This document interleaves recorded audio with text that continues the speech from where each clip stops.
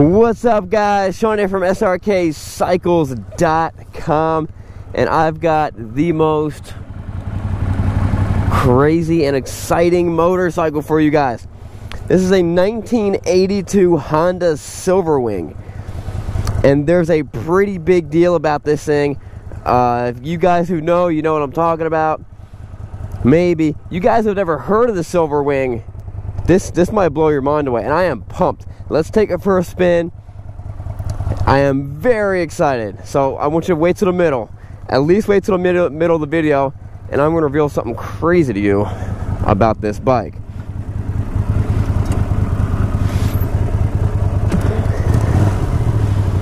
Alright guys, let's do a... Uh... Oh man, I forgot to grab a Bible verse. Alright, you know, I'm going to run in and grab a Bible verse real quick. Alright guys, Words of wisdom, James 1:12. Blessed is the man who preserves under trials, because when he has stood the test of time, no, the test, he will receive the crown of life that God has promised to those who love him. Amen. All right, you know what? All right, so I'm gonna, I'm gonna, I'm gonna be, uh, I'm gonna be just, I'm gonna be frank. I'm gonna be frank. You guys be whoever you are. I'm frank now. And what blows my mind, okay, we've all had this pre idea. Anyone who rides nowadays has this idea that you need a 3000 cc motorcycle. You need a 3 liter V6 motorcycle just to get you down the road. Am I right? Is that not the idea that we all have? Like, we're all thinking, we're all like, yeah, yeah, I need that. You know what I mean? 1000's like, ah, yeah, 1000 cc. That's what I got my, that's what I, that's what I have in my, uh, in my child's, what are they called? Those little like Jeeps. Those little Jeeps that they, they drive around on. You know what I'm talking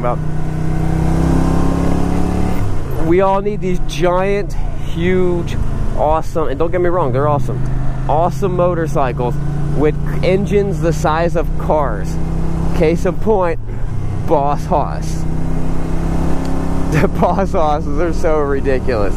Uh, they're awesome, don't get me wrong. But that's what we need. We are Americans and we absolutely need that. But to be honest with you, do we need it? And that's what I'm going to show you in 1980, I don't know when this came out, maybe like the seven, late 70s, maybe 81. In late 70s, Honda was seeing all these other companies having these awesome touring bikes. And I'm sure they were super ugly. But let's just say they were awesome. BMW had a touring, they had a fairing bike. Harley had the Tour Glide. And Honda's like, I want to get in on this. And then they did. And then they decided let's have a touring bike that's 500 cc's. This is a 500 cc touring bike. Like, I bought this bike. I'm, I'm, gonna be honest with you. I don't buy. I barely ever buy bikes at auction. I went to a car auction and I saw this bike and I was like, "What? A 500 cc touring bike? I don't care what I gotta pay for it." I gotta have that bike because I just want to ride it. I want to see if 500 cc's, one, is big enough for a man on the highway, which we're gonna do right now. But two, like, is that even possible? Can you, is 500 cc's even enough to get you at like rolling speeds? To carry this fairing and these speakers. This is actually, they said this is the same fairing that came right off the Goldwing. It's got little tour packs on it. I mean, obviously it didn't come with a remote. There's no cruise, but there's like a throttle lock right here, which is kind of cool. So we're gonna jump this thing on the highway. And just a little bit that I've been riding it right now, I love this bike. Check it out, you can adjust the, uh, like the, the preload and stuff like that. Now I'll admit, I'm actually, I mean, it's not the fastest thing out there, but it runs pretty good.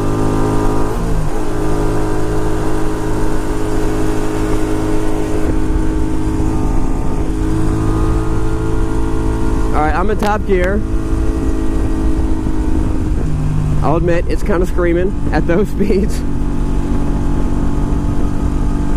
65 is actually not bad,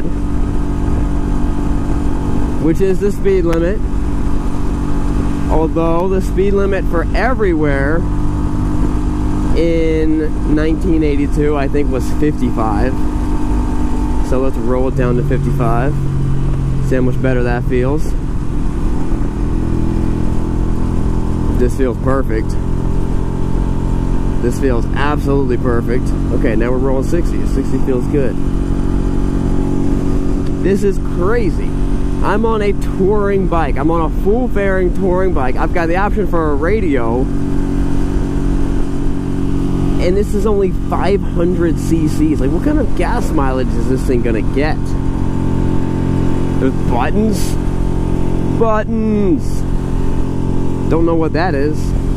But that's a thing. Pop this thing open. Eh. I don't know how that opens. Oh, maybe like that. I don't know how that opens. I mean, this is just blowing my mind away.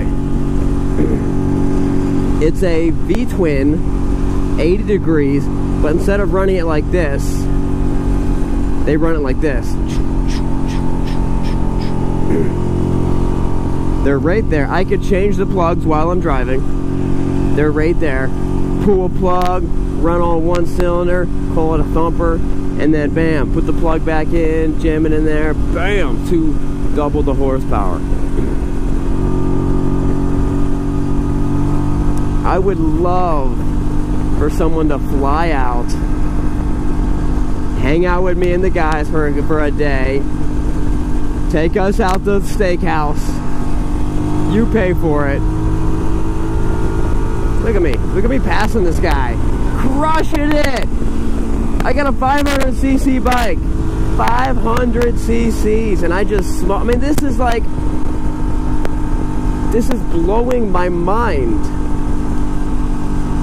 I, I would never have thought I'd be on anything less than a, I mean, I, I honestly, I, I 1300 cc's was a, was the smallest touring bike I've ever ridden in my life. And now I'm rocking a 500 cc bike and I, okay, I'm guess I'm getting used to like the I'm getting used to the buzziness. Going rolling 65 is fine. And it is very smooth too. It's very smooth bike. It also handles really well.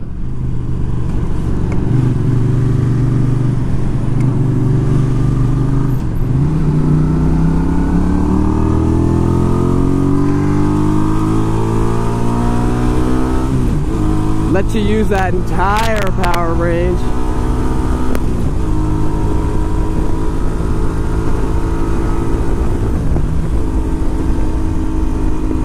This is great. I, I think I think I'm gonna try to take a trip on this bike. I have an excuse to go to Charlotte fairly soon.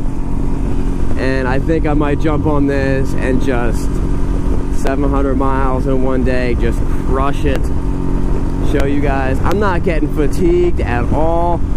This is the perfect seating for me. It would be nice. Maybe I put some little highway pegs right here. A little phone mount right there. I'm being honest. This is this is great. I bet this thing gets like 70 miles to the gallon. I have no idea. That's not based off of anything. And this thing's in such good shape. Alright, so I'm cruising the speed limit. We're going 65. I feel great. I'm not getting any, like... I mean, it is a little buzzy. But I'm not getting any, uh... You know, excessive, like my hands aren't going numb or anything like that. If I want to overtake somebody, which I always do, I just, just twist it a little bit. Don't downshift or nothing. Just roll the throttle a little bit. I got plenty of it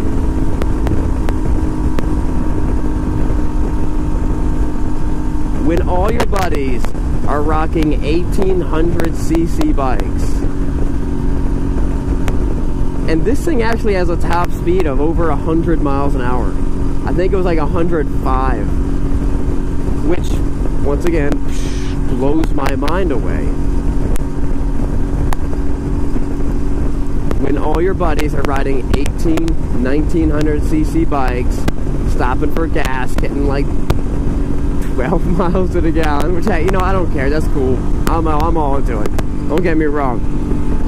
But you're over here crushing it on your, this isn't, okay, I'm 32, and I'm born in 1986. This is four years older, which is, this is a 36 year old motorcycle.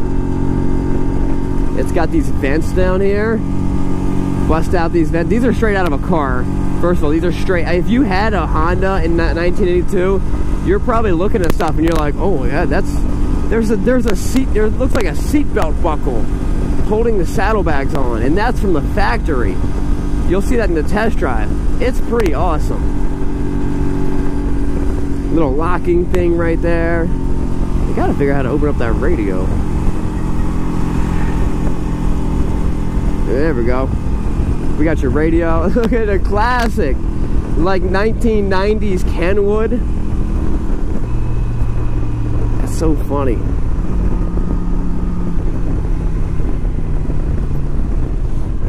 Now, I'll, I'll, admit, I get excited about a lot of funny things. But you gotta admit that this is pretty cool. This is a pretty sweet bike. It's like, it's I mean, the only thing that'd be crazier than this would be like a moped, a 49cc moped with full fairings that can do 65. I'm also surprised how well this thing runs. Uh, when we first got it, uh, battery was a little bit low, but it fired up real good. Um, charged the battery last night, fired up great. It was running a little bit, a little bit rough. No joke, I rode it for about half a mile. Everything cleared up maybe something was just clogging up one of the one of the what are they called? One of the jets. Maybe something was clogging up one of the jets and it cleared out. Look at that pony. Alright guys. That wraps it up. This is a sweet bike. The only thing that would make it sweeter if I could if I could do wheelies on it. But I, I would I just wouldn't feel good about that. I'd feel like getting it up would break it, coming down would definitely break it. So we're gonna hold that for a later day. All right, guys, if you are transporting, if you need to transport a bike, if you're buying a bike, you gotta transport it. You're buying a new bike, you're going to Sturgis, you're going to a rally, you're gonna trailer your bike, you're going to the mountains, you wanna trailer your bike. If you have a motorhome, this is what I do. If you have a motorhome and you're putting your bike on the back and you need a, you need a secure it. You've got to do what me and thousands of other people are doing. You got to use tank straps. Um, look on the link below. They're currently for sale on Amazon and also our website. Uh, but if you're an Amazon Prime member, free shipping, which is super awesome. And it's the best way to tie down straps. The website, thetankstrap.com, will show you how to do it. And it shows you how to do it on Amazon too. Uh, we transport hundreds of bikes a year, and we've been using the same straps for the past three years and they are the baddest things out there. Overkill, absolutely. All right, guys, that wraps it up. Remember, it's not what you're riding, but where you're going. We'll see you guys later.